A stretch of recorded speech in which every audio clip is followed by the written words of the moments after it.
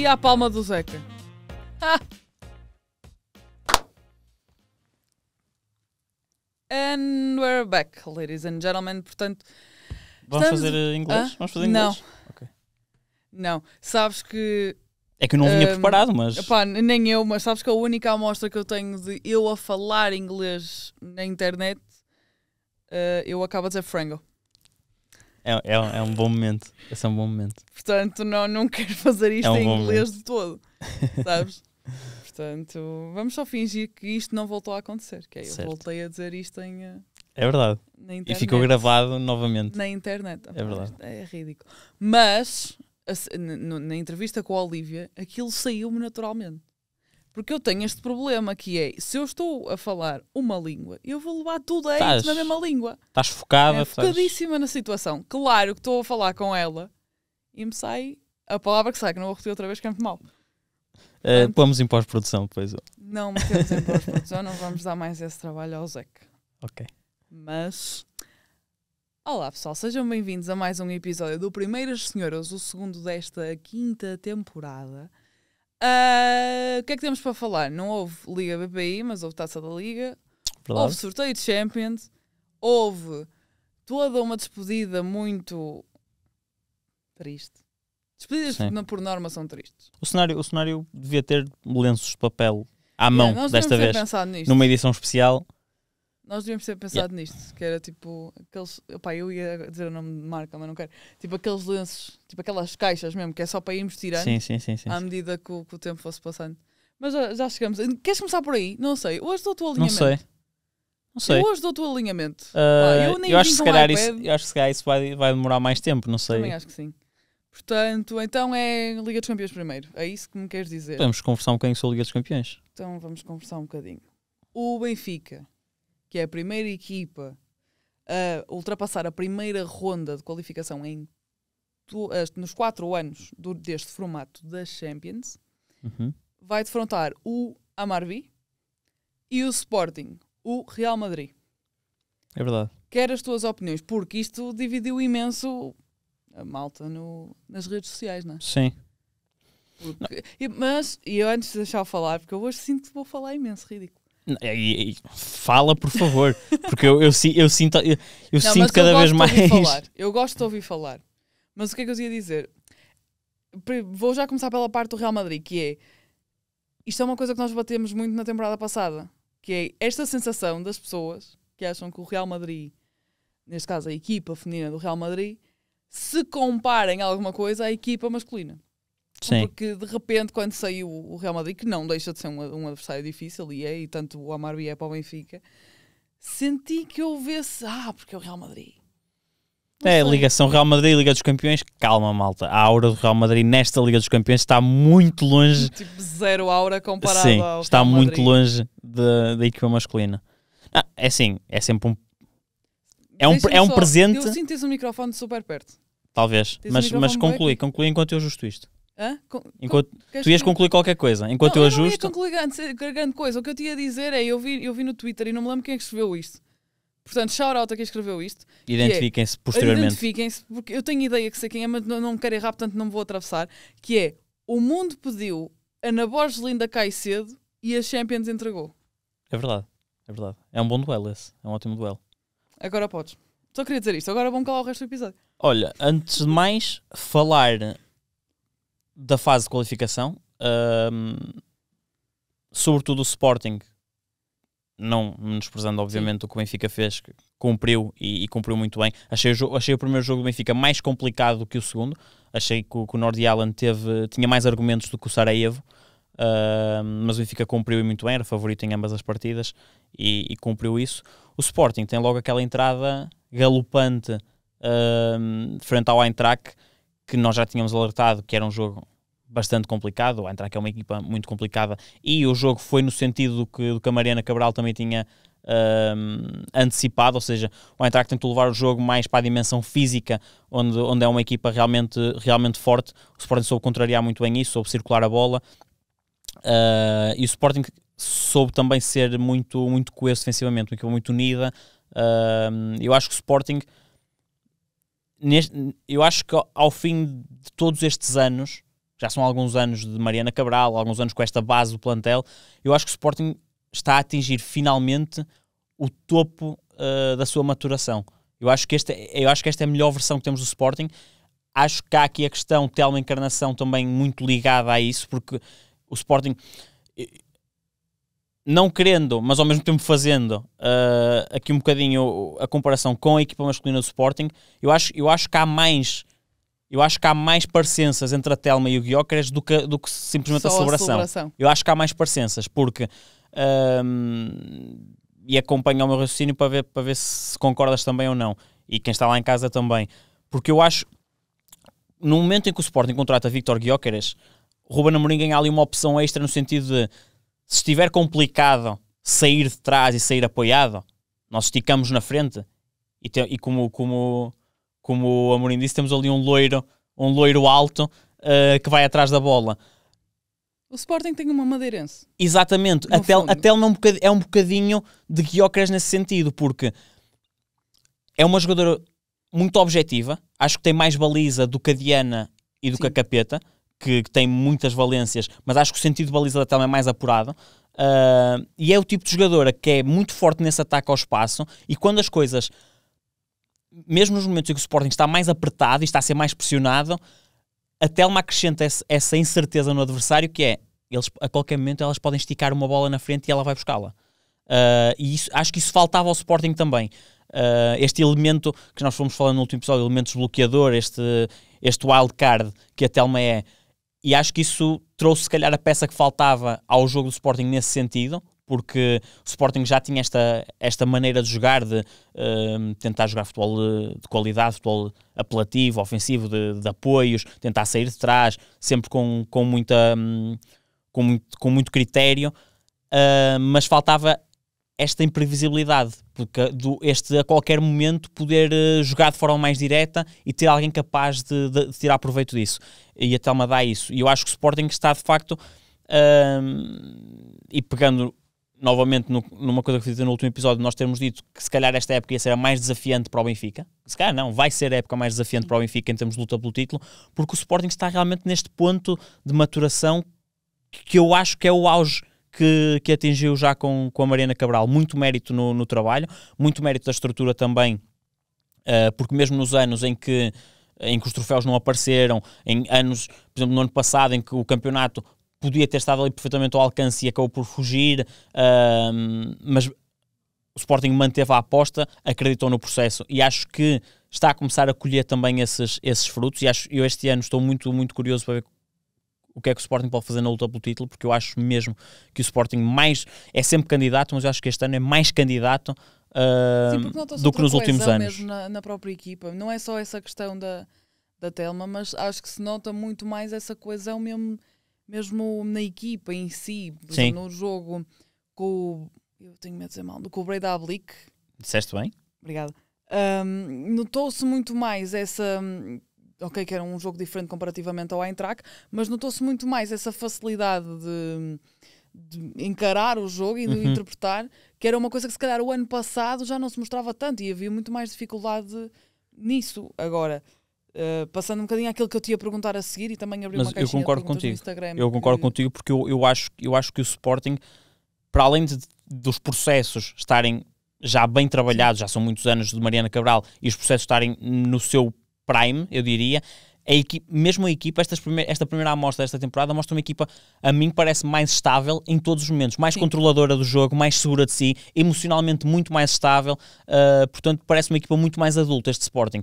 Obviamente, manter a base ajuda, os reforços foram cirúrgicos também, acho que, acho que este Sporting tem, tem muito, muito para andar. O Real Madrid, só para complementar, é um presente no sentido em que eu considero que as outras os outros possíveis adversários seriam piores, na ah, teoria. Sim, mas é um presente envenenado também, porque não deixa de ser um Real Madrid.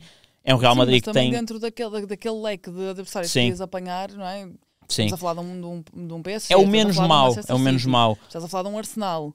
Portanto. Sim. Na teoria meio... é o menos mau, mas acaba, a continua a ser um jogo muito difícil para o Sporting, uh, porque também, além da Caicedo, Caroline Veres está numa forma inacreditável. Um, há individualidades. O Real Madrid é sempre um clube. Tem aí esse problema que não, a nível de equipa. É sempre um clube que há ali, um bocadinho à semelhança do Paris Saint-Germain, que quando as coisas parecem estão a estabilizar, há sempre qualquer coisa nova que aparece e aquilo passa a expressão, fica outra vez a arder. O Real Madrid é um bocadinho assim também. É uma equipa altamente instável. Uh, para o Benfica, o Amari pode criar aqui alguns, alguns problemas, mas o Benfica na teoria é favorito e acho que tem também todas as condições para, para passar. O Sporting vai ter tarefa mais difícil, mas eu não, não coloco um favoritismo assim tão grande também para o Real Madrid. Acho que o Sporting tem todas as condições para, para, se, para se bater com, com o Real. Uh, a primeira mão, obviamente, é muito importante uh, para, para, o, para o resto da eliminatória, mas acho que o Sporting tem condições, tem condições para eu isso. Eu acho que é muito, quando, quando, quando sai o sorteio, não é o resultado, eu acho que há primeiro aquele choque inicial de em um Sporting Real Madrid. É. Eu acho que é muito essa questão de nome, nem é bem o que a equipa vale ou, que, o que é que os nomes hipoteticamente valem. Mas eu acredito que se calhar um Sporting acabar por passar nesta eliminatória não é chocante. Não, é, será, é, será sempre uma surpresa, não é? Mas, claro, mas eu mas acho. Não eu, acho que é assim um grande não, eu não, ele, eu não acho, eu não acho que vai ser um, um jogo tão desequilibrado assim. Eu acho que não é um confronto tão desequilibrado assim. Acho que o Sporting tem condições para, para equilibrar uh, as contas com, com o Real Madrid. Acho que há muito essa, essa tendência que considero até normal, de certa forma. Se calhar Sim. aqui confundir um bocadinho. Uh, a equipa, neste caso a equipa feminina, o, o específico, com o global, que é o, o clube em si, ou seja, é aquele nome Real Madrid.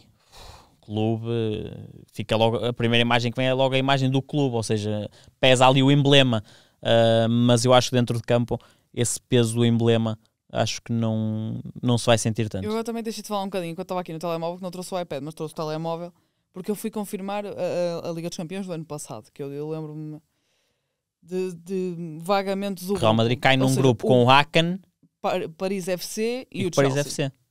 Portanto, o Real Madrid faz um ponto Exatamente. contra estas equipas. Exatamente. É? Portanto, ok, que chegou lá, acho que também ultrapassou, a salva foi o Valrenga, não, não me lembro do, do resto da eliminatória para chegar aos grupos, mas no único, o único jogo em que o Real Madrid consegue somar pontos é num empate com o Chelsea, onde as contas, as contas estavam feitas. Exatamente. Portanto, acaba por. E, e, e esse jogo, penso eu, esse jogo, penso eu que até tem um caso muito polémico uh, de arbitragem sim. de uma grande penalidade. Uma grande penalidade, qualquer coisa assim. Uh, sim, não tenho presente, Portanto, presente na memória se foi uma penalidade ficou por assinalar para o Chelsea ou uma mal assinalada, assinalada a favor do Real, algo assim do género. Portanto, no sim, fundo, foi uma fase de grupos desastrosa. Portanto, perdem com o Akan logo na, na abertura. Eu, eu, tenho, até tenho medo de estar a ver isto ao contrário. Pois estou. Isto foi em novembro o jogo, estava a ver ao contrário, perdoem-me, estou segunda-feira. Um, mas é isso, portanto, têm esse empate, mas depois perdem com o Aken, uh, perdem com o Paris FC, perdem com o Paris FC, perdem com o Chelsea, perdem com o Aken. Sim. Portanto, acaba, mas mesmo transpondo agora para esta época, houve muitas saídas no Real Madrid, portanto, muitas, Ivan Andrés eh, e mais umas quantas também foi uma equipa que sofreu uma grande reformulação, mas no fundo é sempre aquilo que nós estamos a dizer, que é os nomes que eventualmente podem assustar. Mas a, a nível de equipa acho, e a nível coletivo, eu acho que se calhar o Real Madrid é uma equipa que deixa muito mesmo algo a desejar, não é? Portanto, eu até te digo mais, eu acho que coletivamente o Sporting está numa fase de evolução maior, mais avançada do que o Real Madrid. A questão aqui é que o Real Madrid tem, tem aquelas individualidades que que te podem abrir a lata a qualquer momento. Uma linda Caicedo resolve-te um jogo. E uma tal encarnação não te resolve? Então, é verdade, é verdade. Uh, mas é mais por aí, porque pronto, tens, tens esse tipo de jogadoras que num, num estalar de dedos podem resolver o jogo. Uh, mas acho que coletivamente, nesta fase, eu acho que o Sporting, pelo trabalho de continuidade que já tem, pelos vários anos com, com a Mariana a trabalhar a equipa, acho que já tem ali uh, processos mais cimentados do que o Real Madrid. Nesse, nesse aspecto, acho que sim. Por isso eu acho, vai, eu acho honestamente vai ser uma eliminatória uh, equilibrada, porventura mais equilibrada do que muita gente pensa. Eu também acredito que sim. Isso eu, eu, continuo a dizer. Eu, no fundo, nós estamos a ser um bocado advogados do Sporting. Mas. Nós somos advogados de Portugal, no fundo. E bem, e nós é que estamos certos. No uh, fundo. Eu só que, Nós para mim era nós Benfica queremos- Sporting nós na final da Champions Nós Alvalade. queremos toda a gente a ganhar, que é para termos mais equipas lá. É mais equipas Portanto- lá e e é isso. Mas o que eu estava a dizer, que eu agora estou aqui com o plantel aberto do, do, do Real Madrid, que é para avivar a memória, mas eu, é o que eu estava a dizer, para mim era Benfica Sporting na final da Champions Alvalade. Tenho dito. Ahm, mas o que é que eu estava a dizer? Dessas saídas todas, os, os grandes nomes que ficam no, no Real Madrid é a Atenea, da Sim. Castillo, a Linda Caicedo, mais a Caroline Teresa Ver. Beira, Sim. portanto a Olga Carmona e a Misa. No fundo são os grandes nomes do, do Real Madrid de quem ficou, não é?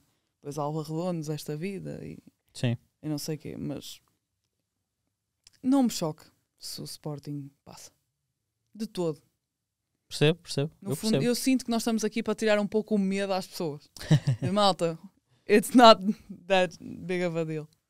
Não, eu concordo, concordo que, que vai ser bem mais equilibrado Sim, do que se aponta. Já quando, quando, quando o Sporting defrontou o Fran- o Frankfurt, que foi aquilo que nós estávamos a dizer, que era um jogo bastante difícil.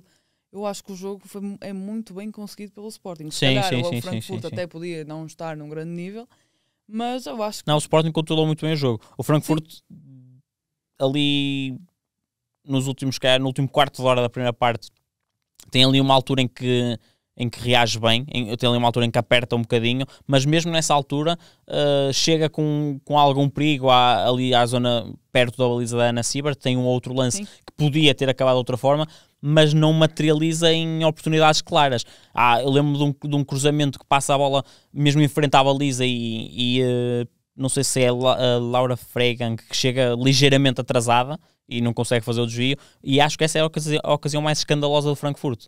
Uh, portanto, mesmo no melhor momento do Frankfurt, o Sporting pareceu-me sempre muito tranquilo, uh, muito sólido, muito seguro de si uh, defensivamente e, e essa é uma das imagens que eu levo dessa fase de qualificação. É um Sporting super tranquilo, super confiante, ciente do que pode fazer e, e capaz de controlar. Passando do Sporting ao Benfica, já falaste um bocadinho também do Amarby, mas também Sim. o que é que tu esperas, não é? Dado que depois eu tenho aqui uma pergunta Sim, Eu, eu abri uma caixinha de perguntas no Instagram do É verdade. 00 Feminino. Portanto, malta, obrigada. Parem é de confundir podcast também. Nós recebemos perguntas para um podcast alheio. Ah, verdade. Acho triste, mas tudo bem, não vou passar a publicidade, também não nos passam a nós. Ahm, mas também o que é que tu esperas um bocadinho sobre, sobre esta eliminatória, também dado o jogo contra o Sarajevo? Sim, o, o jogo com o Sarajevo não teve grande história. Acho que o Benfica foi imensamente Sim. superior. Uh, destaque também para, para as estreias da, da Neide e da, da Thaís. Um, o Nordi Allen já tinha dito que, que foi mais desafiante uh, do que o Sarajevo, porque tinha mais argumentos, tentava jogar uh, o Sarajevo com, com claras debilidades nesse aspecto. Portanto, acho que o Benfica cumpriu bem, não foram testes que pudessem realmente também exigir muito, exigir o máximo da equipa do, do Benfica. Acho que o Amarby obviamente vai ser mais exigente. Uh, este Benfica ainda é um Benfica aqui não, vou, não, não digo em reconstrução porque ok, tiveste ali saídas importantes e que te obrigam aqui a alguns ajustes uh, mas a base do plantel mantém-se mas é um Benfica que, que me parece ainda a meio gás parece-me a meio gás a equipa Uh, acho que por esta altura já é mais do que seguro dizer Martin Prieto é, é reforço de topo, uh, diferente do que estamos habituados uh, a ver no Benfica na, na linha da frente, normalmente avançadas mais móveis.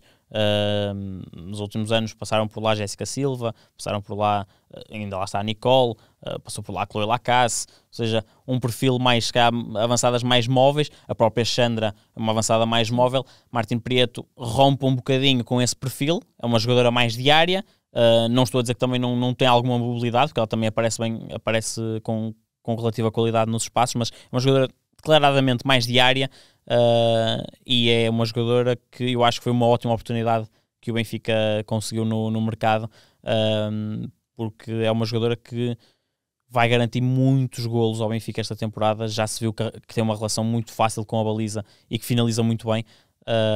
E acho que realmente é a grande contratação do Benfica. É um Benfica que, uh, sobretudo ali na. Eu acho que mais na zona intermédia ainda tem que se encontrar um bocadinho, ou seja, suprir ali um bocadinho a ausência da Kika, tentar uh, encontrar ali as dinâmicas. Uh, há opções, há Pauleta, há Ana Gaspar, há Beatriz Cameirão, há Norton, há André Faria.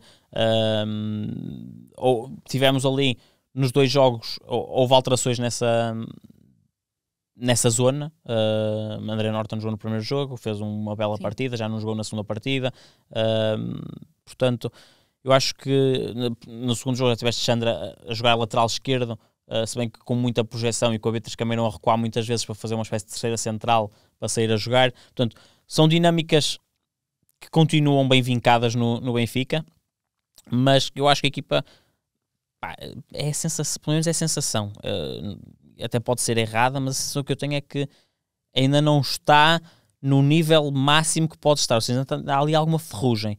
Mas isso eu acho que também tem muito a ver com a, com a saída daqui, com a saída Sim, sim, sim. Ou seja, Há lesões importantes da Lúcia. Sim, também é isso. A própria é. Helena Powells, a Ruth cumpriu muito bem nestes, sim, nestes sim, jogos, sim. foi chamada, uh, mas a própria ausência da Helena também é, é significativa, porque é uma jogadora que, que, estava a ser titularíssima no, no, no Benfica, mas acho que é muito por aí. Pá, não dá para tirar grandes conclusões destes, destes dois jogos, porque o Benfica era de facto muito superior às duas equipas. Uh, mas a única conclusão que eu, que eu tiro é que dá essa sensação, e daí, daí eu também dizer que pode ser uma sensação falsa, porque pode ser aquela sensação de como a, a diferença ainda era alguma entre, entre o Benfica e as duas equipas, pode dar essa sensação que o Benfica nem está na máxima força, mas é essa a sensação que dá.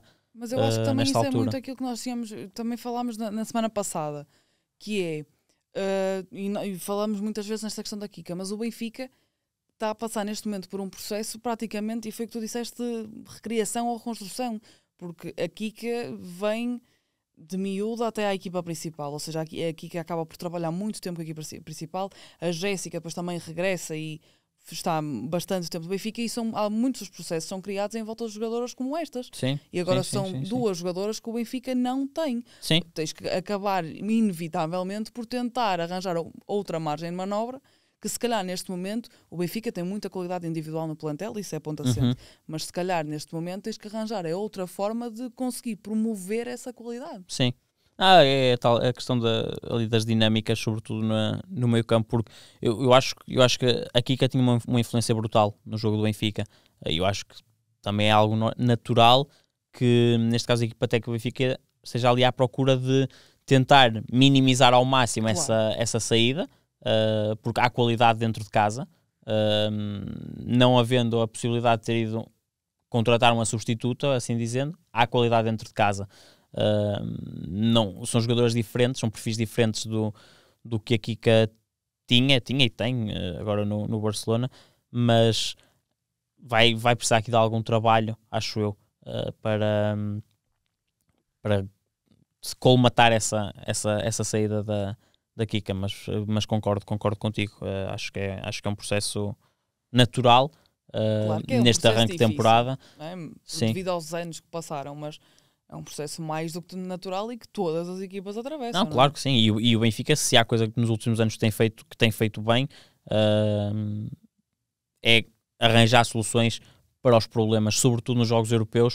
Uh, a equipa parece, parece sempre capaz de subir um nível quando achamos que já está no auge, a equipa transcende e sobe mais um nível. Portanto, e isso foi visto a olho completamente no ano passado. Sim, é isso, é isso. Portanto, acho, acho que, acho que nesse, nesse aspecto ainda há muitos créditos que, que a equipa técnica tem, porque tem, tem feito muito bem esse trabalho e acho que o tempo uh, nos vai dizer se.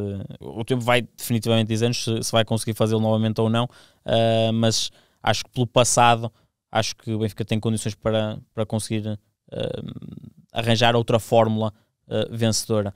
E, e, nesse sentido aproveitar também para Dar os parabéns a Filipe exatamente está nomeada deixar aqui a nota uh, para a Missa melhor treinadora para a Missa Filipa Patão uh, não só para ela para o Benfica mas também para Portugal. É, é, muito importante ter ter alguém a representar-nos uh, num prémio tão tão prestigiado. Portanto acho que é um reconhecimento justo pela temporada do Benfica por, por ter chegado aos quartos de final uma Liga dos Campeões desde a ronda de qualificação, uh, por ter ganho uh, tudo o que ganhou. Uh, acho que é um reconhecimento justo para, para a Missa Filipe Patão. Fica também a nota de, de a parabéns. Disse que também era um ponto que eu ia tocar a seguir, mas entretanto vamos lá. Mas antes de irmos, eu, nós temos aqui uma perguntinha que vai mais ou menos ao encontro daquilo que nós estávamos a falar. Não diretamente, mas que é do Renato Soares. Olá, Renato. Obrigada pela tua pergunta. Um, que é Telma Encarnação ou um Martin Prieto, quem vai ser mais influente na Liga BPI? Queres começar? Opa, não sei, porque eu fiz um tweet sobre isto na, na semana passada. Que é. É difícil. A Telma é efetivamente o reforço do verão. Sim. Em Portugal. É, Sim. ponto assente, não há, não há outra forma de dizer, que é uma coisa que nós vimos, passamos muito tempo aqui a dizer, que é, é o reforço muito por aquilo que dá ao Sporting. Ponto. Gosto, é gosto do, caminho que estás a percorrer porque eu acho que é por aí também. A Martin Prieto é outra vez aquilo que tu estavas a dizer há bocadinho, que é, é uma avançada diferente daquilo que o Benfica nos habituou, mas que também enfrenta a baliza é perigo certo. Ou seja, eu não consigo responder esta pergunta. Muito por causa desta uh, destes dois níveis diferentes em que uhum. neste momento as equipas se encontram. Ou seja, não partem as duas da, da mesma coisa, porque é, estamos, é isto que nós estivemos a falar até agora. Mas da maneira que o Sporting se está a apresentar agora, nota-se muito mais essa influência da Telma, muito por, por, por esse trabalho que existe nos setores atrás dela. Na questão do Benfica, havendo essa dificuldade no meio campo, isto, e mesmo assim temos a Martin Prieto com salvo erro 7 golos em. Não tenho agora o número de cor, mas uh, no fundo eu acho que ela marcou nos últimos jogos todos. Uhum. Eu acho que ainda não falhou nenhum. Sim. E temos este Benfica que tem a dificuldade que tem no meio campo, não é? Ou seja, eu não consegui encontrar uma resposta para isto, sendo que para mim, a Telma, volto a dizer, é o reforço do mercado uhum. E a Prieto, não sei. Ah, Dani, tens de ser tu. Eu, eu, uh, pronto, o, Benfica é assim, o Benfica tem uh, notas de diferenças no meio campo, não diria que também que é uma dificuldade grande, Sim. mas notas que, pronto, que está cá, notas que ainda está a passar por essa fase de readaptação. Eu acho que vou fazer um bocado batota, que é... Não podes. Mais influente na Liga BPI, eu não sei, mas eu acho que nas duas equipas, eu acho que a Telma é mais influente para o jogo do Sporting do que a Martin Preto para o jogo do Benfica. Não foi ou seja, que perguntaram. Ou, se, ou, ou, seja, o que eu quero dizer é, uh, são duas jogadoras de topo, das melhores que temos no nosso campeonato, mas eu acho que se tirares uma e tirares a outra das duas equipas, eu acho que o Sporting vai sentir mais a ausência é da Telma do que, o, do que o Benfica a ausência da Martin Prieto. Percebo. Eu acho isso. Um, pá, na Liga BPI, eu acho que são as duas jogadoras com capacidade para, para arrebentar com isto tudo. E vamos a apostas, para isto ficar marcado na internet. Porque eu, eu, acho, eu acho, honestamente, que são jogadoras com capacidade para, se não marcarem todos os jogos, marcam só falham em um ou dois. Porque Vamos a apostas, por favor. São jogadoras com uma relação muito fácil com o golo, com a baliza, são jogadoras que finalizam super bem. Uh, a Telma tem outras, outras características, é mais móvel, uh, é mais de ataque também ao espaço. Martin Prieto, mais forte no jogo de cabeça do que, do que a Telma, eu acho. Uh, e, e é, tem aquele instinto de saber onde é que a bola vai estar, onde é que a bola vai cair, e estão lá, estão lá para, para finalizar. 22 jornadas da Liga BPI. Quem é que vai. Quantos golos vai marcar Telma Encarnação e quantos golos vai marcar Martin, Martin Preto? Isto vai ficar gravado na internet, opa, é o que é. Aqui a, quest a, questão aqui é, depois metendo-se Liga dos Campeões, metendo-se as paragens, há ali não, sempre... Para de fazer batota, não foi isso que isso eu te perguntei. É, eu, não, eu estou a pensar em voz alta, porque há sempre ali tendência para alguma rotação, e é isso que me assusta, porque eu diria-te que em circunstâncias normais, ou seja, normais... Tens um número, não é, pode dizer mais É isso, de... ou seja, norm, normais, em circunstâncias normais, e as duas a jogar o máximo tempo possível, chegam ambas aos 30 gols facilmente. Não foi isso que eu te disse. Eu quero uma marca certa e exata para Telma, uma marca certa e exata para Martin Prieto. Eu, eu vou arriscar na mesma, eu vou arriscar nos. Espero que o nosso colega Diogo Matos esteja a ouvir este episódio, porque, pronto, uh, inside jogo revelada. O, o, nosso colega aponta num caderno uh, os, as nossas apostas ao longo do ano, seja do que for, Uh, tanto que a minha, o ano passado, uma das minhas era que o Lank uh, Vila Verdense ficava na Liga BPI, conseguia a manutenção. Portanto, um, portanto isto, Matos, aponta por favor. Eu vou dizer. Marca certa e exata. Eu, eu estava a apontar para os 30, mas. Exato. Eu vou baixar, eu vou baixar. Então. Vou baixar um bocadinho. Vou baixar para os 25, por causa da rotação. Quem? Ambas. Não ajuda, tipo, podes, podes saber Ambas. brincar. Ambas. Então eu digo-te aqui. Eu acho que vai ser uma luta acérrima pelo, pelo título melhor marcador e acho que vai ser entre Eu também acho que sim e vai ser. Também acredito. É eu, já nem, eu já nem sei é quantos que... é que ela já tem no campeonato. É que. Pronto. Uh, vamos conferir. Tati Sena tem dois. Pronto, vamos conferir. Pois, certo. Portanto, vamos conferir. E o resto é, Tati Sena e Malo Schmidt são os melhores marcadores do campeonato com dois gols. Portanto, só Pronto. houve uma jornada. Exatamente. Mas... Mas elas marcaram. Vamos conferir. Já conferi. O que é que estás a ver? Marcaram as duas. A Telma e a Martin Preto. Sim. Exatamente. É, sim. Eu acho que sim. Sim. Martin Desculpem. Preto marcou. Sim. Pronto. Uh, posso dar as minhas agora? Podes. Dado que eu há bocado errei, fui moleque. Uh, a de Martin Preto tem 6 golos em 5 jogos. Mas só campeonato, só Liga BPI. Ah, só campeonato, ok. Ah, estavas a contar com tudo. Não, se contar com tudo, acho que, acho que, passa, Nunca, não, eu acho que é passam só, uns 30. É só Liga BPI. Telma, 29. Martin Prieto, 27. Deixa-me deixa só. O ano passado a Kika teve. 17, é isso 17. que estava a ver. É isso que a ver. Portanto. A questão, a questão é que lá está. E mesmo assim, eu estou a dar 29 à Telma, sabendo que ela vai me espetar com 32. A questão é que a, a, a Telma fez 13 no ano passado. Contextos okay. diferentes. Conte é isso que é onde eu ia chegar. Contextos diferentes. À partida, no Sporting terá mais oportunidades e será melhor servida para, para isso. Uh, e o mesmo com o Martin Prieto, porque no ano passado a melhor marcador do Benfica nem avançada era. Uh, quantos, quantos gols é que ela teve o ano passado no Sevilha? Já não, ela Martin foi... Prieto fez 18 no, na Liga F. Na Liga F. foram 18. Mas eu acredito imenso na. Epá, isso se calhar são números inflacionados.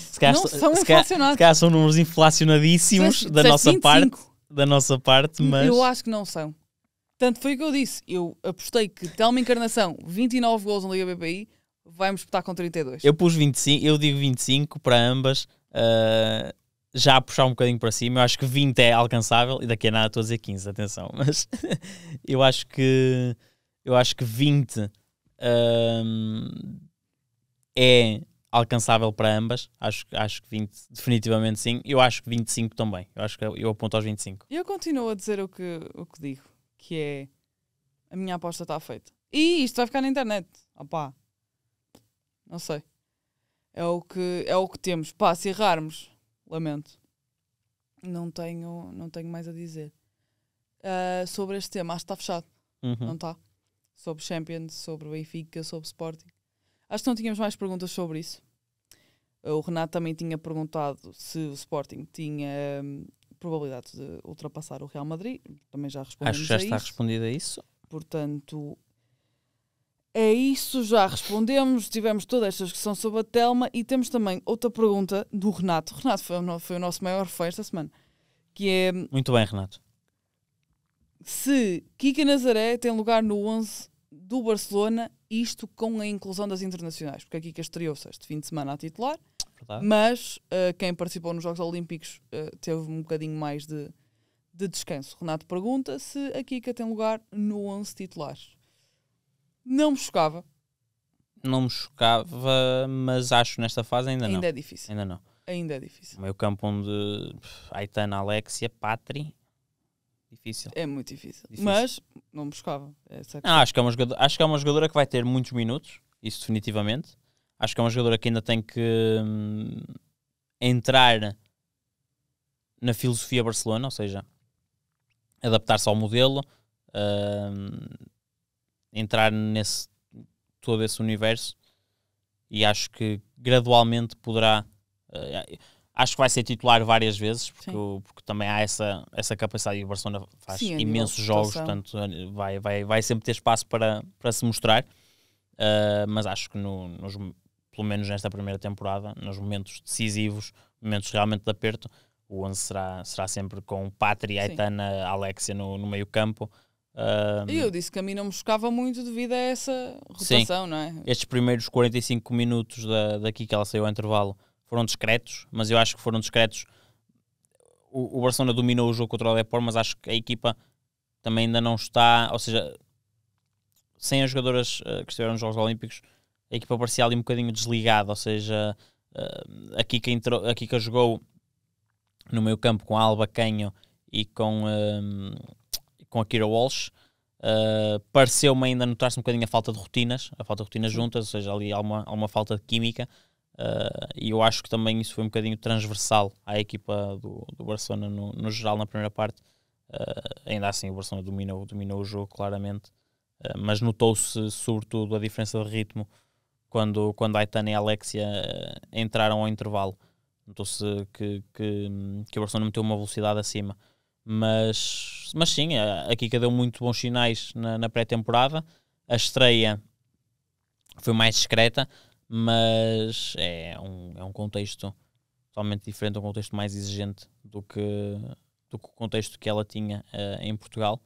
Um, e acho que, ainda, acho que ainda se nota um bocadinho essa, essa falta de, de rotinas com, com a equipa, que é normal que vá, que vá ganhando também um, ao longo do tempo. Tanto ela como, como outras jogadoras. Sim. A Alba Canha também é uma, uma ótima jogadora e também se notou um bocadinho essa falta de, essa falta de química, uh, não só com o resto da equipa, mas as elas as duas juntas, ou seja, sendo ali as duas newbies uh, no 11, uh, notou-se notou mais, eu acho.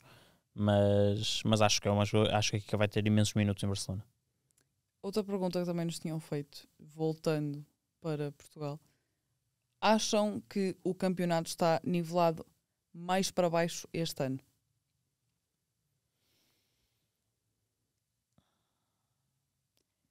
Então, porque é que agora eu, eu ia fazer tipo música de elevador, mas não, Eu acho, ficou aqui eu um silêncio um bocado constrangedor. Eu acho que sim.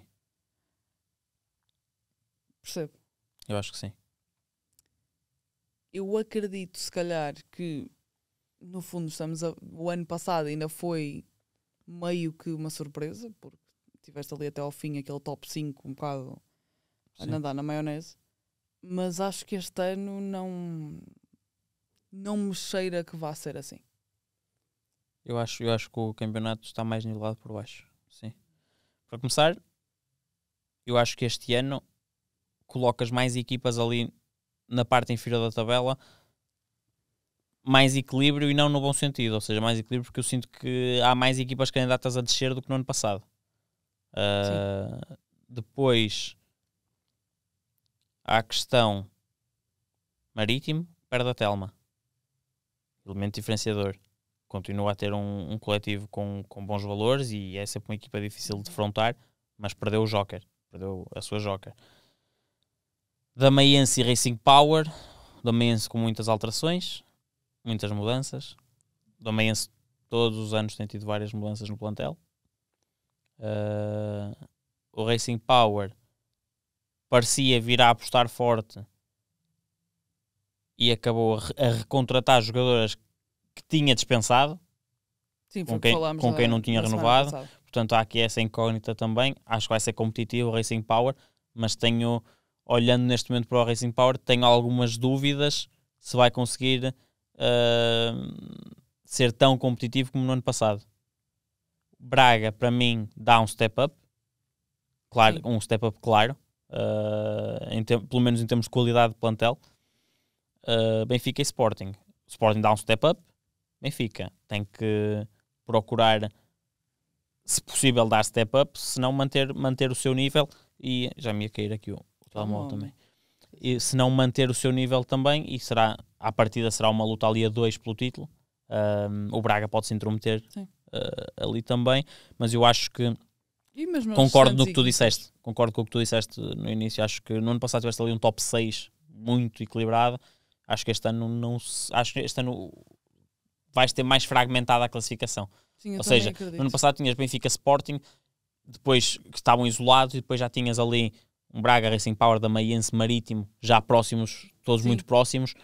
Eu acho que este ano, por exemplo, nesse, nesse lote já vais ter ali mais fragmentado. Ainda havia o Valadares também, havia já. Sim, Valadares. e aí o Valadares Mas- até começou bem a época. Sim, sim, começou bem a época.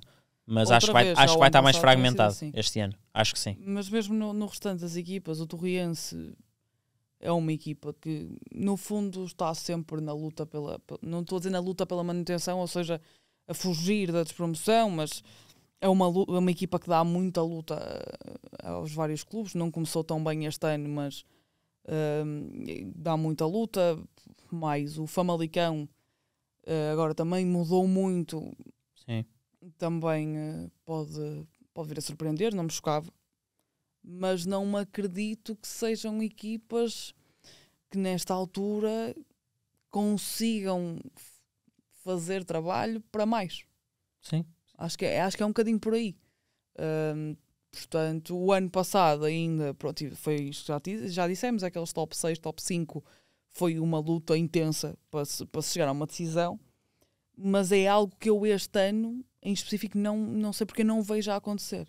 Uhum. Por esta Concordo. amostra inicial, Concordo. Hum, sinto que deixa um bocadinho a desejar para toda a gente. Portanto, espero que assim não seja e espero estar redondamente enganada, mas acho que é um bocadinho por aí. Não sei. Falar Concordo, nisso este fim concordo. de semana, antes que eu me esqueça, nós fazemos sempre isto, não é? Que é a cena de pseudo-antevisão que nem é bem uma antevisão, é só dizer o que é que há para a semana Sim. nem é bem para a semana, é só tipo amanhã quase. Que há um. hum, portanto, o. Isto me telemóvel hoje. Famalicão Sporting, na sexta-feira. Portanto, Famalicão que. Primeiro jogo, recorda-me, Famalicão perdeu em Braga. perdeu em Braga. Sim. Portanto, e agora. Ou seja, isto é um início de campeonato terrível para o Famalicão. Que agora recebe o Sporting. O Benfica vai ao António Coimbra da Mota. Portanto, o Estoril volta a abrir o estádio. É verdade. Próprio Sport posso estar a bater palmas também para não parecer sozinho. Não, sim, eu E tu não consegues por causa do microfone. Daniel tem graves problemas com o microfone. Sport Estoril por ter Obrigado, eh, Estoril. aberto as portas do Coimbra da Mota para o jogo da Taça da Aprendam Liga. com os recém-promovidos ou recém-regressados, só favor. Ah, portanto, próprios ao Estoril, que recebe o Benfica em casa. Depois, ah, não há jogo do Braga. Portanto, porque o- há adiamento do jogo diante do Vila Verdense. Portanto, ah, são 20 dias entre o primeiro jogo do Braga e o segundo. Oficial, é? Porque depois jogos de treino e assim. Hum, Não sei. Esta questão do Vila Verdense, no fundo, é o. É que estamos em, já a meio de setembro. Não sei, não sei o que dizer, não sei como é, não sei como é que como é que uma coisa destas é permitida ah, numa primeira divisão, nem é só numa primeira divisão, como é que uma coisa desta é permitida, ponto. Ah, mas se queremos dar os passos em frente e, e de facto mostrar crescimento, mostrar ah, profissionalismo e mostrar também lá, lá fora que temos aqui um campeonato de qualidade, não é, não é por aqui, não é por aí. É que volta a ser um ano outra vez com estas. não se percebe como é que uma coisa destas pode acontecer, como é que como é que uma temporada arranca com um caso destes assim. Eh, pá, não, sei, não sei, honestamente não sei. Mas há um Racing Power Valadares. É verdade. Quero muito ver, pá. Quero muito. Não é que não quero ver os outros, mas estou algo. Sim, ótimo jogo. Pá, Carolina Santiago. Eu, eu gostava muito que fizesse o jogo outra vez. Tipo, o jogo outra vez não. Ou seja, outro jogo do, do Valadares. Porque E se eu a acho- Carolina Santiago. Eu acho que, que sou eu que vou fazer o Racing Power Valadares. Isto, isto, é, isto é máfia, que é para tu fazeres títulos outra vez com Remédio Santi, não é? Eventualmente bocado pode acontecer. Eventualmente pode acontecer. Estou a gostar muito. Se ela, se ela continuar a partir tudo desta forma, vai acontecer. Estou a gostar muito deste início de temporada. Já agora na taça da Liga. Que grande golo. Não é. Que grande golo. É verdade. Não, está, está a ser uma ótima início de temporada de Santiago. está a ser um ótimo reforço para, para o Valadares e tenho a certeza que a Mariana Cabral também está a adorar este início de de temporada certeza. eh, já, a pensa, já a pensar em se calhar está na altura de chamá-la mas é de volta Calma, está para aí há, um- há- uma semana sem pressão. em Gaia e de sem repente pressão, não. sem pressão Carolina, não, mas, mas claramente que Mariana Cabral também Ah, estará satisfeita com, com o que está a ver ahm, da Carolina. E bem, e bem, e bem, que grande início de temporada. Portanto, dois últimos tópicos desta conversa, porque já estamos aqui há muito tempo e as pessoas É cansam-se de nos aturar. Nós entramos aqui a dizer hoje vai ser curtinho e já deve ter para aí 40 minutos. Mas. Ballon d'Or. Quem ganha? Não quero saber mais nada. Pá, eu acho, e eu não estou a acho, falar dos jogadores. Eu porque acho- se fosse treinadores, sim. não será patão. eu acho que vai ganhar a Aitana, honestamente, para mim, Caroline Hansen. Yeah. Finalmente, Caroline Hansen. Finalmente. Sinto que, sinto, que, sinto que o futebol já lhe está a dever a alguma coisa. Mas tu vais ter um problema aí. É que nó- todos nós sabemos que é a verdade universal que infelizmente não vai acontecer. Quero muito estar errada, mas sabemos perfeitamente que não vai acontecer. Por isso é que eu disse. Ok, Aitana, ai- Bonmati, A Aitana ganha tudo. mas para mim, Caroline Hansen. Para mim também. Portanto, já que o mundo entregou uma Ana Borges Linda Caicedo, ao menos que entregue uma bola de ouro. a- Certo. Né? Eu sei que isto é a pior comparação possível, mas pá, é o que é. Zero, zero Siga. remorso sobre esta comparação. Siga, siga. É que a temporada é nova, mas eu continuo a querer uma camisola da Ana Borges. Portanto, Sporting. eu não vou chatear o Sporting. Eu não quero chatear o Sporting, eu só quero, uma- Ana. eu só quero uma camisola da Ana. Porque isto agora vai, vai me fazer entrar no último tópico desta conversa. Porque a Ana Borges foi a minha Alex Morgan. Ei, Eu estou mesmo a falar a sério. A Ana Borges foi a minha Alex Morgan. que forma de introduzir o tema. É verdade. Que forma de introduzir o tema. E nem é bem introduzir isto. Sou eu a desabafar só quase com uma lágrima no canto do olho. Então agora começa a falar de Alex Morgan. Portanto, Desabas. Desabas por completo. Pá, um bocadinho. É pá, aquele vídeo foi. Chamem o Duarte. Aquele vídeo foi.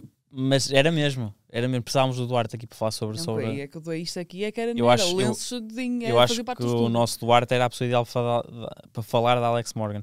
Pá, aquele vídeo foi muito pesado. Pois foi. O, vi, o vídeo do. Porque aquilo. Pá, vem do nada. É não havia- estás à espera de Não repente, havia aqueles rumorzinhos de bastidores, nada, nada. De repente, tem Alex Morgan carregou um vídeo. Olá, malta. Vou-me retirar. Vou direto ao assunto, vou-me retirar. E o mundo cai. Cai.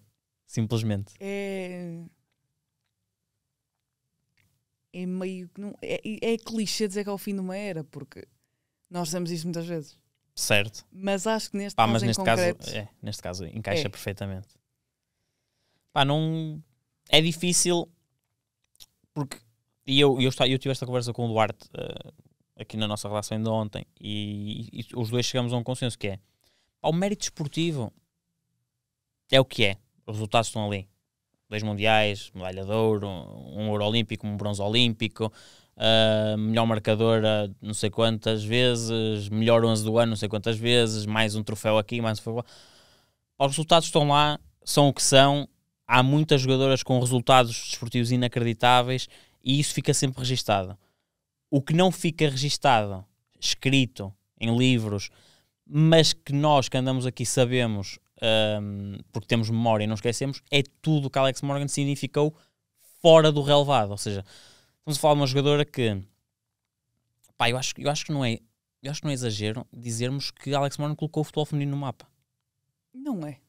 Eu acho, Não é Eu acho honestamente que não é. Acho que sempre que falamos do, do futebol feminino, não digo seja a quem for, mas a muita gente, é, o, é um dos nomes que vem à baila. É inevitável, é, isso. o nome dela. porque imagina, uma das coisas que, que eu que eu nem sei, se- nem sei se cheguei a partilhar com alguém ou só escrevi, mas uma das coisas que eu acho sobre isto é que tu hoje tens um- uma modalidade onde e, e há, uma, há uma fotografia, passa, passa publicidade, mas tem que dar os créditos a quem, a quem direitou. Há uma fotografia que o portal espanhol Relevo publicou que eu acho fascinante nesse sentido, que é há uma foto em que está uma legenda de há 15 anos e vi as crianças dizer eh, eu, quero, ser Messi, eu quero ser Ronaldo, eu quero ser Rooney e havia ali uma, uma menina sozinha, eu quero Eu- ser Alex Morgan. E hoje já tens, eu quero ser Aitana. Ah, mas olha, eu quero ser o Messi. Ah, mas eu quero ser a Alexia. E continua ali Alex Morgan. Mas há 15 anos era isso, era eu quero ser Alex Morgan, só Alex Morgan, porque Alex Morgan era a cara de uma modalidade. E era, só, e era essa, mesmo essa. Eu, eu vi esse, esse desenho e era o facto de ser uma pessoa. é, Não é? isso. E é aquela pessoa ali a dizer: Eu quero ser Alex Morgan. Porque Alex e hoje Morgan. já tens uma imensidão de gente que olha para outros nomes, para outras caras, para outros jogadores, mas isso nunca faz esquecer que foi a Alex Morgan uma das grandes impulsionadoras disto. Exatamente, porque tu hoje e, e eu acho que é uma boa forma de resumirmos isto. E, e acho há uma frase que ela menciona que eu acho que é, é perfeita e resume, e resume isto: que é o facto da filha lhe ter dito que quer ser jogadora. E ela diz que sente orgulho não porque quer que a filha seja jogadora, mas porque até uma criança de 4 anos percebe que já, que já é possível, Já é que há um caminho criado para que isso seja possível. E eu acho que é muito por aí, porque eu acho que hoje Alex Morgan retira-se de consciência super tranquila, porque deixa uma modalidade onde um dia melhor. toda a gente quis ser como ela e hoje ela deixa e já há figuras para lhe suceder. Eu acho que esse é o maior legado que fica. Pá, e Eu não sei se é perce- perceptível na câmara, mas o Daniel neste momento estou, está de olhos completamente estou, vermelhos. estou, não estou. E Yeah. eu, eu, é- eu é que me estou a conter. Para mim, para mim, mas olha, mas eu, eu, eu deixo isto ir assim, ir assim para a internet, na verdade. Porque para mim é um tema muito, muito sensível. E é normal. É um tema muito sensível. E eu estou a dizer isto e estou a Ah, olhar para, para, para as luzes só para não parecer muito mal, não é? Não, mas, para mim é um tema Mas- muito sensível, porque eu efetivamente, ok, eu já disse isto publicamente e já, e já, já o disse várias vezes aqui. Para mim, Kika Nazaré prende-me definitivamente ao futebol feminino. Aparece um talento daqueles em Portugal, Claro. prende-me definitivamente. Mas antes disso, eu sou uma das muitas pessoas que podia ir vendo aqui e ali um jogo, não acompanhava se calhar com tanto rigor como, como hoje acompanho, mas Alex Morgan era um, nome incontornável, porque foi o nome que, que aparecia nos placares, foi o nome que trouxe investimento, que trouxe Sim. visibilidade, que trouxe patrocinadores, foi o nome que, e, e sem querer estar a tirar mérito a outras, a outras jogadoras que fizeram esta batalha e, e que trouxeram muito à modalidade, Megan Rapinoe, se, se quisermos na nossa escala, Ana Borges, Dolores Silva, ou seja, jogadoras que andam aqui há muito tempo a lutar para termos o que temos hoje e que ainda é pouco, porque ainda há, espaço Sim. para mais. Ah, mas Alex Morgan, por todo o mediatismo que, que se criou em torno dela e que ela soube também utilizar muito bem, não só utilizar muito bem no sentido não de, de vender a sua imagem, mas de capitalizar aquilo para a modalidade em prol do bem maior. Ah, e durante muito tempo foi ela esse, esse símbolo. Eu, eu acho que antes do futebol feminino ser global, Alex Morgan já era global. E se calhar a dada altura Alex Morgan foi maior do que a própria modalidade. Eu acho genuinamente isso. Ah, para mim foi, foi um choque. Foi um choque. Aquele vídeo para mim caiu-me tudo. Caiu-me tudo. Eu eu estou só a pensar um bocado neste discurso que estamos aqui a ter. Porque eu comecei este. Estou a odiar. Eu não posso falar. É verdade, é verdade. Vais, vai, vais passar pelo mesmo que eu. Eu estou aqui eu tipo. comecei este assunto a dizer que. O nosso, o nosso Duarte, se estivesse aqui, Eu acho que ele era o pior dos três. completamente, completamente. Eu acho, eu acho que Mas- temos de trazer o nosso Duarte aqui para falar. Ei, Eu vou odiar quando a minha mãe me disser que, que me viu a chorar efetivamente no episódio. Mas Eu acho que o nosso. eu comecei isto a dizer que a Ana Borges era a minha Morgan. Muito por tudo aquilo que estamos a dizer. E principalmente num desses pontos que tu falaste agora, de, dessa visibilidade, dessa, ou de ter esse poder de nós olharmos para elas e dizer eu um dia gostava de ser como tu. Exatamente. Ahm, eu não quero falar mais. Vamos fechar assim, não é? Uma choradeira e vamos fechar assim. Estou a odiar, estou a odiar, tipo, veja tu. Vou odiar, isto também internet, minha mãe vai ver. ah, lindo. Não, é. pá. Acho que. Eu não sei, eu nem sei, eu nem sei. Eu não sei o que se pode dizer mais. Acho que é, acho que é um dia. Assim como, como houve um dia, ou como o dia em que Megan Rapinoe também, também se retirou e, e o mundo parou, eu acho que o mundo para ainda mais quando Alex Morgan se retira. Acho que, acho que é um dia que fica, fica para sempre. Se calhar vamos voltar a viver isto e ver- quando, agora, quando as figuras de agora ah, também chegar a esse dia, se calhar vamos. Ai, não estou preparada para o resto. Não estou. Mas, Lamento. É verdade, Lamento, mas se calhar vamos voltar a viver isto quando, quando for a vez da Aitana, quando for a vez da Alexia, quando for a vez das nossas Ana Borges, das nossas Dolores, ahm, as nossas Tatianas Pintos e, e por aí fora. Ah, mas é estranho porque é aquela, é aquela, aquela sensação de. É alguém que tu nem conheces, ou seja, tipo, alguém com quem tu não estás fisicamente, alguém que tu Sim. não conheces, mas é, daquele, é daqueles fenómenos que tu sentes. Pá, tu sentes, tu sentes a perda como se fosse pá, como se fosse um irmão, como se fosse um irmão teu, tipo que de repente, pá, de repente acabou a carreira e pessoas que. E a Morgan é esse caso, que é tu começas a ver isto, ela está lá. É Por isso, exemplo, porque comparando isto se calhar ao masculino, numa escala mais à nossa idade. não Tu, conhecendo, come- tu não começas e não há logo um, um Cristiano Ronaldo e não há logo um Messi, mas nas tuas primeiras memórias do futebol masculino é um Ronaldo e um Messi, tal, tal como na questão do, do, do feminino é uma Morgan, é, É uma. Marta, é, Porque mesmo tu não conhecendo, é, é a marca que deixam em muita gente. Ou seja, gen- muita gente que, que nunca se calhar priva com essa pessoa, mas que de certa forma é ali tocada por tudo que, o que essa pessoa fez. Eu acho que, eu acho que Alex Morgan é um desses casos. É um desses casos que conseguiu tocar tanta gente e, e trazer tanta gente para,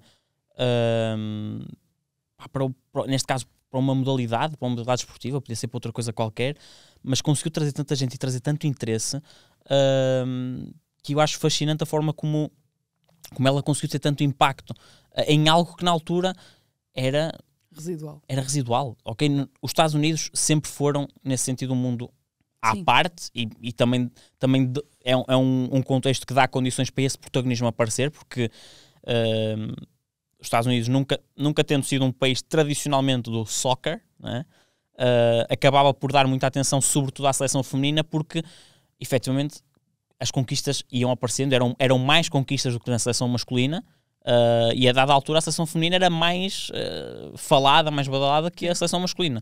Uh, portanto, também houve condições, pelo, pelo facto de, dos Estados Unidos também estar sempre na vanguarda, houve condições para que esse protagonismo fosse aparecendo.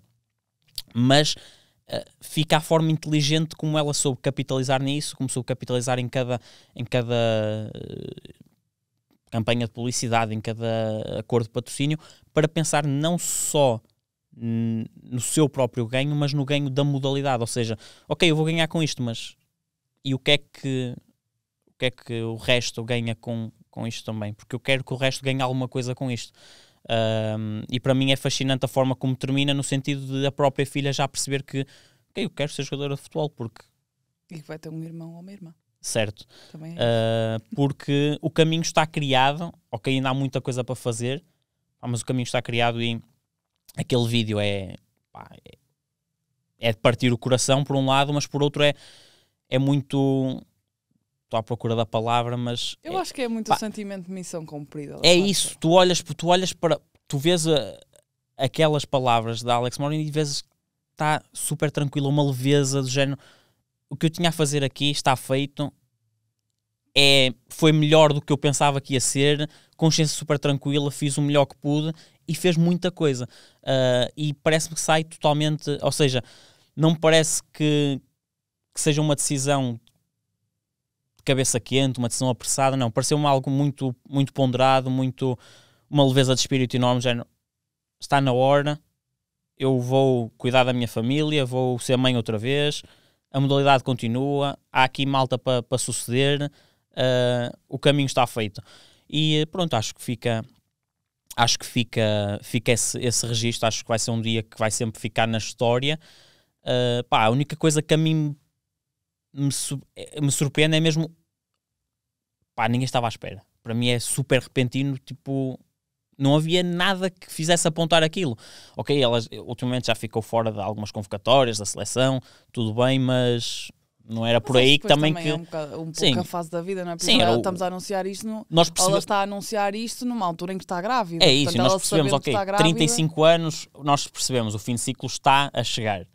Pá, mas é, é repentino, é, é, é do, isso, é do nada, não há. Ao mesmo tempo que tens Alex Morgan a anunciar que se vai retirar, tens a Marta com 40 anos a marcar um golaço na, Exato. pelas Orlando Pride, ou seja, percebes? é isso, Ah, mas é- fica aquela sensação de essa- opá, fica só mais um bocadinho.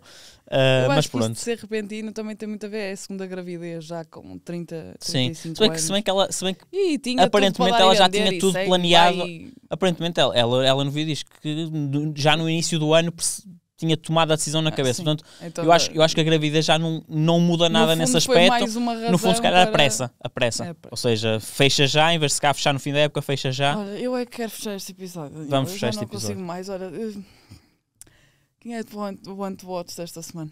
Olha, a minha One to Watch desta semana, e eu vou só recorrer aqui às minhas cábulazinhas. Aqui na por cima, agora de repente, estamos hoje no telemóvel. Parece que tipo não. Sim, isto, houve aqui um momento que isto foi muito difícil. Opa, é verdade. desculpem. É mãe. Houve aqui mãe. um momento a minha que mãe é uma das nossas maiores. nunca mais nos ac- nunca, Mãe, nunca, nunca mais até- Não aconteceu. Porque lembras do, episódio, do último episódio da última temporada? lembro. Pronto, em que eu estou tipo assim. Sim, fim. sim, sim. Pronto, reza a Eu lenda que disse ninguém nunca sabe o mais. que é que se passou depois disso. Certo. Pronto, agora já sabem. Eu disse nunca mais, mas nunca, Péssimo. mas nunca aconteceu. Mas que nunca nos digam que nós não sentimos isto. Ai, cala-te. Que nunca nos Não- acusem não disso. cá. Não nunca nos hoje. acusem disso. Ah, pronto, Once to Watch. Once to watch. Portanto, Momoko Tanikawa. Deixamos ainda bem assim? Que disseste Não, ainda bem que disseste a primeira, porque eu, eu, quando, eu quando tu me disseste de manhã, eu fiquei a olhar eu sei quem é, mas Sim. eu não consigo dizer os nomes. Ela, ela esteve, Já para mim dizer que o Isha Kwarachka é muito difícil. é, ela esteve nos Jogos Olímpicos recentemente pelo, pelo Japão. Ah, joga no Rosengard, é uma, uma média de 19 anos. Ah, pá, é uma média fascinante. Eu acho uma média fascinante. Porque, para começar, é uma média que tem uma relação com o golo incrível. Ah, ela tem 11 golos em 13 jogos. Ah, ela joga ali médio centro, tem muita chegada à, tem muita chegada à área. É ali uma 8-10, digamos assim. Ah, outra coisa que acho fascinante é que ela tem uma facilidade enorme em executar com os dois pés. De tal maneira que se vocês forem ver, se vocês, os curiosos aí em casa, forem ver ah, um jogo da, da Momoko, não se admirem se a virem. Ela, ela no Rosengard, ela, ela marca, ela bate as bolas paradas. Não se admirem se a virem ah, bater cantos de um lado com o pé direito e do outro lado com o pé esquerdo. Acontece. Ela acontece. Eu E adorei agora também. É tu olha, tentas olhar para as duas câmaras. é tipo, verdade, estou a- estou a procurar uma, uma das ah, tipo, câmaras. Mas acontece ah, e, falo, e falo com qualidade com ambos os pés. Mas é uma criativa, é, é muito. Eu, eu adoro, adoro este tipo de jogadora, que é, que é aquela jogadora eficiente, mas elegante. Ah, muito elegante a jogar, muito, com muita classe em tudo o que faz, muito inteligente ah, e muito, eh, muito madura também já em termos de conhecimento do jogo para uma, para uma jovem de 19 anos. Ahm, sempre de cabeça levantada, sempre a ver o que é que se passa em redor, se, se é seguro receber, se não é seguro, se tem que jogar de primeira. Ahm, é o- os chamados scans, de estar sempre a ver o que é que, o que, é que se passa em seu redor. És boy scout. Ah, e, e é uma jogadora que, que eu acho que pode dar claramente um salto maior ah, a curto prazo, porque eu acho que tem capacidade para isso. É uma jogadora muito disponível também para, para defender, é muito trabalhadora, muito, com uma ética de trabalho muito grande, ah, não, não desiste de nenhum lance, é a primeira, quando perde a bola, é a primeira a tentar recuperar ah, e é muito. Muito, tem uma boa visão de jogo, é muito, tem muita qualidade com a bola no pé, tem uma boa relação com a bola e acho que, que pode ser um nome que pode, que pode aparecer aí nos melhores campeonatos. Ah, o campeonato sueco é um bom campeonato, atenção, mas acho que pode aparecer aí num, num clube maior que o Rosengard ah, a curto prazo. Ah, na altura falou-se muito, ah, falou-se e, e o Benfica estaria, por exemplo, a tentar estaria atento à Rosa Cafagi do Aken para como possível substituta daqui, que ela acabou por ir para o Arsenal. Está aqui a Momoko que pode também preencher esse perfil. Se o Benfica ainda estiver à procura de uma substituta para a Kika, a Momoko pode, parece-me pode preencher esse, esse perfil. Uh, realmente foi, foi uma jogadora que foi e é uma jogadora que, que me pareceu uh, que me parece muito interessante e que, que vou continuar vou continuar, continuar também a acompanhar uh, o crescimento o crescimento dela Uh, já, já, já é presença na, na seleção do, do Japão, como eu disse há bocadinho, esteve, esteve nos Jogos Olímpicos uh, e fica, sobretudo, essa relação com o golo muito fácil para uma média. Uh, acho que é, é, um bom cartão de visita também para, para ela. Vamos fechar isto? Está a ser uma semana muito longa. Pois está, é terça-feira. É o que diz a minha camisa lá atrás. É verdade. Opa, este episódio foi muito mais pesado do que aquilo que eu pensava. Foi pesadíssimo. Pá, eu, sabes, que- sabes que eu, eu achei. Quando nós íamos falar sobre. Nós, ok, temos de falar sobre o tema Alex Morgan. Eu achei legitimamente que ia conseguir passar por esse tema, tipo, Sneaky, sneaky. tipo- ninguém vai perceber bem. tipo achei que ia passar por esse tema e tipo, pá, o, claramente É tipo, Meu- eu tenho sentimento. o meu subconsciente teve outras ideias ah, e pá, e Estava só queria ter trazido para aqui o Duarte para, para que ele não esteja em casa a rir-se, Eu só quero pedir desculpa a toda a gente neste momento. sim, no fundo. Mas só quero que só queria que o Duarte estivesse aqui porque ele vai estar em casa a rir-se, a ver isto. E vai estar. Não, Quando, juro. quando nós sabemos perfeitamente, Duarte estar- Monteiro, o Duarte, que tu a- estivesse aqui sentado ia ser ia exatamente a estar, mesma coisa. a bal- tipo, eu estou a imaginar o Duarte naqueles últimos 13 minutos de sentado no sofá, balde de gelado, daqueles assim, tipo, só ali, Sim. a chorar, a derramar, Sim. tipo, o Oceano Pacífico. Portanto, vamos, eh, assim que ele aparecer nesta relação, vamos ser julgados. No Eh, entanto, eu tenho a minha resposta pronta, que é se estivesse aqui Duarte ia Monteiro, ser pior. ia ser muito pior. Assim, amigos, ahm, voltamos para a semana. É verdade, Muito, muito mais recompostos. é verdade. Desculpem Prometo. qualquer coisinha. Está tudo errado. Tchau, tchau.